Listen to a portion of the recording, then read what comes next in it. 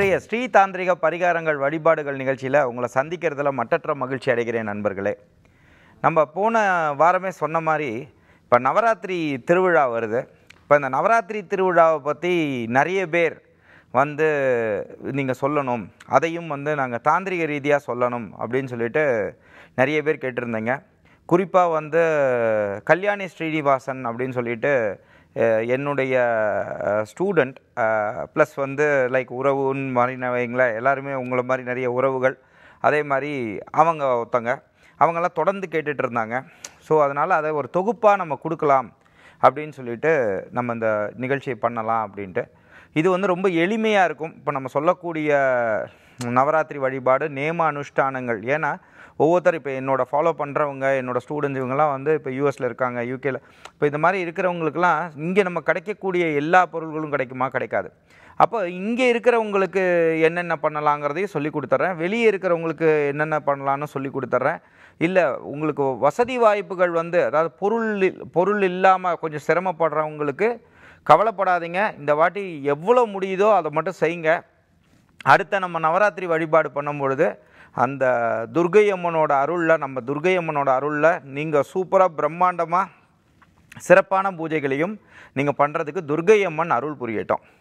முதல்ல நான் சொல்லிடுறேன். இந்த நிகழ்ச்சியை நீங்கள் பார்க்குற அன்பர்கள் வந்து பர்சனலாக இன்கேஸ் உங்களுக்கு சில வழிபாடுகள் தெரிஞ்சுக்கணும் இந்த துர்கை அம்மனோட நவராத்திரி இதுக்கு இது தவிர்த்து தெரிஞ்சுக்கணும்னு நினைக்கிறவங்களும் இதில் உள்ள நம்பருக்கு வாட்ஸ்அப் பண்ணுங்கள்.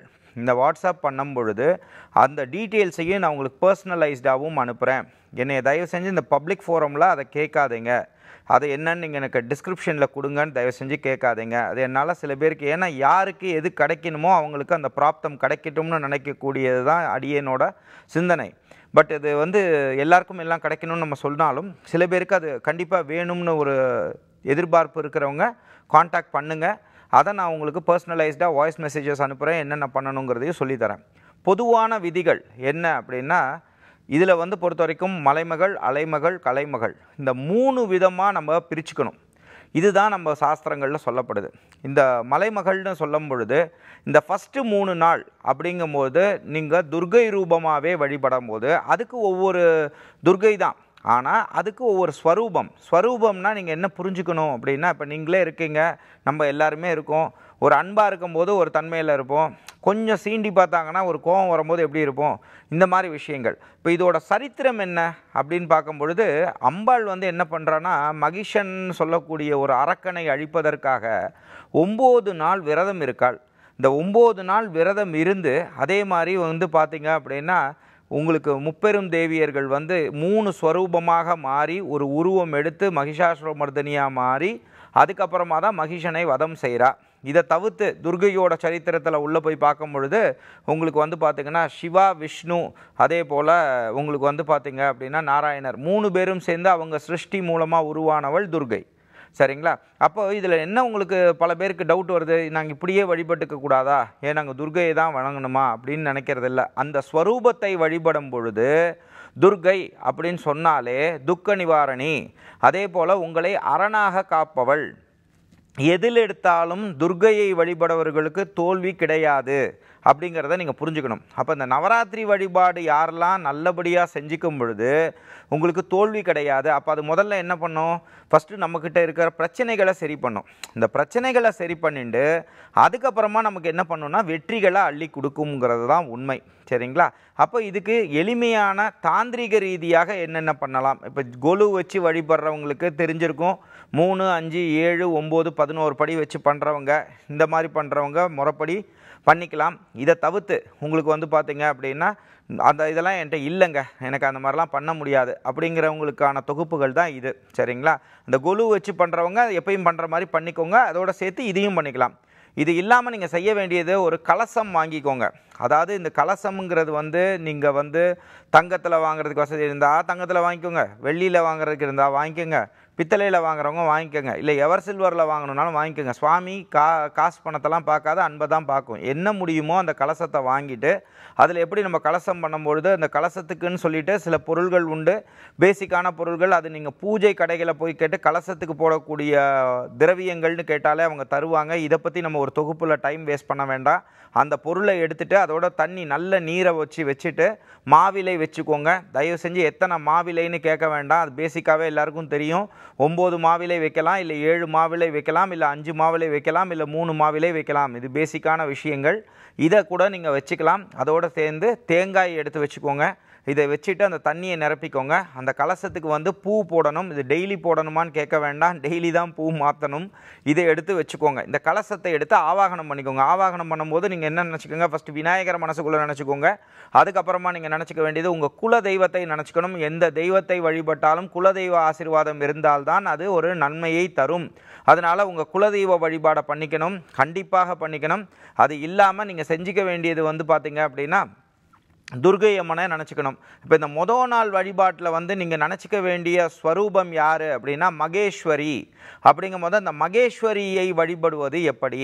இப்போ இந்த மகேஸ்வரின்னு மனசுக்குள்ளே நினச்சிட்டு இப்போ நீங்கள் ஓம் அதுக்குன்னு வந்து பார்த்தீங்கன்னா ஸ்பெஷலாக வந்து நீங்கள் புதுசாக ஏதாவது மந்திரங்கள் சொல்லணுமா? அப்படிலாம் வேண்டாம். ஓ மகேஸ்வரி தேவியே நம்ம ஓ மகேஸ்வரி தேவியே நம்ம இப்படி நீங்கள் நினச்சிண்டா போதும். இதுக்காக நீங்கள் உட்காந்துட்டு பாராயணம் பண்ணுறதுக்கு டூ ஹவர்ஸ் த்ரீ ஹவர்ஸ் செய்யணுன்றது அவசியங்கள் இல்லை. மனசார அன்போடு செஞ்சால் போதும். இல்லை நான் சமஸ்கிருதத்தில் வந்து இப்படி சொன்னால் தான் சுவாமி ஏற்றுக்கும் இந்த மொழியில் சொன்னால் தான் ஏற்றுக்கும் அதெல்லாம் கிடையாது. சுவாமிக்கு லாங்குவேஜே கிடையாது. நீங்கள் இங்கிலீஷில் சொல்லுங்கள் ஹிந்தியில் சொல்லுங்கள் எதில் வேணால் சொல்லுங்கள் சுவாமிக்கு அதெல்லாம் எல்லாமே தெரியும்.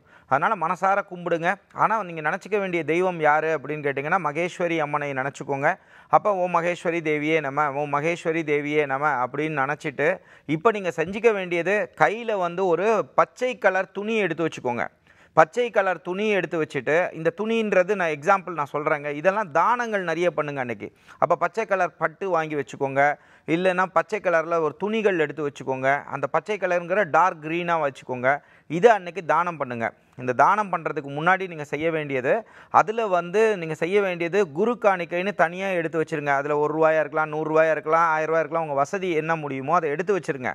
இதை நீங்கள் தனியாக ஒரு முடிச்சு கட்டி இதை நீங்கள் ஃபஸ்ட்டு என்ன செய்யுங்க த- அதை முடிச்சு மாதிரி கட்டிட்டு அதை நீங்கள் தலையை நல்லா இருபத்தி ஏழு தடவை சுற்றிட்டு அதை தனியாக எடுத்து வச்சுருங்க. மிச்சம் இருக்கக்கூடிய துணிகளை வந்து தானம் கொடுங்கள். இதை நீங்கள் ஃபாரினில் இருந்தால் கொடுக்க முடியாது செய்ய முடியாதுன்னு தயவு செஞ்சு நினைக்காதீங்க.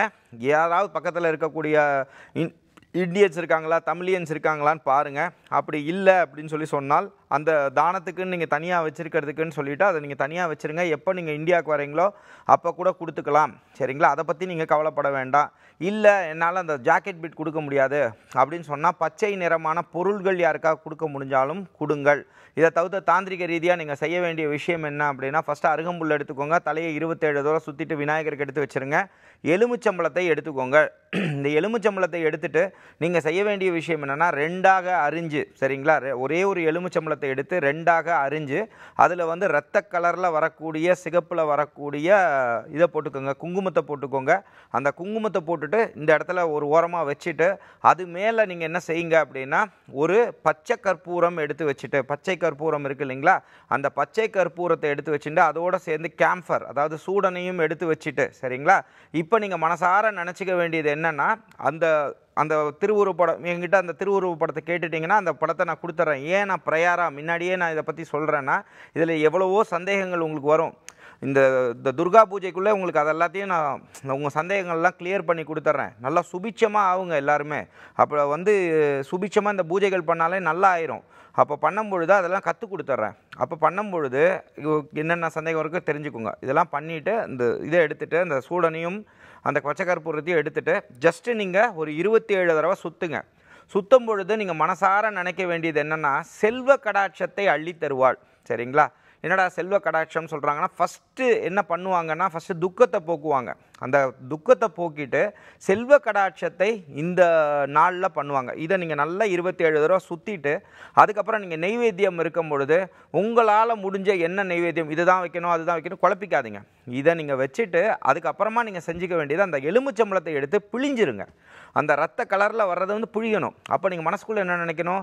துர்கா தேவி மகேஸ்வரி தேவியை நீங்கள் தாம்மா எங்கள் வீட்டில் குடி புகுந்து எங்களுக்கு எல்லா துன்பத்தையும் விலக்கி எங்களுக்கு சர்வ லக்ஷணங்களும் கொண்டு வந்து சுபிட்சமாக வாழ வைங்கன்னு சொல்லிட்டு இதை பண்ணிவிட்டு அந்த நைவேத்தியம் பண்ணதை வந்து பக்கத்தில் இருக்கிறவங்களுக்கெல்லாம் கொடுங்க. முடியலன்னா ஒரு புறாக்களுக்கோ பசுக்களுக்கோ இந்த மாதிரி கொடுங்க.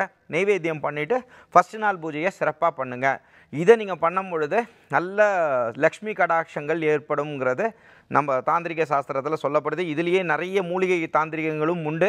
அப்படிங்கும்போது அந்த மூலிகை தாந்திரிகங்கள் பற்றி தெரிஞ்சுக்கணுன்னு இருக்கவங்க வந்து பர்சனலாக எங்கள் வாட்ஸ்அப்பில் கேட்டு தெரிஞ்சுக்கோங்க. அதை நான் உங்களுக்கு சொல்லித்தரேன்.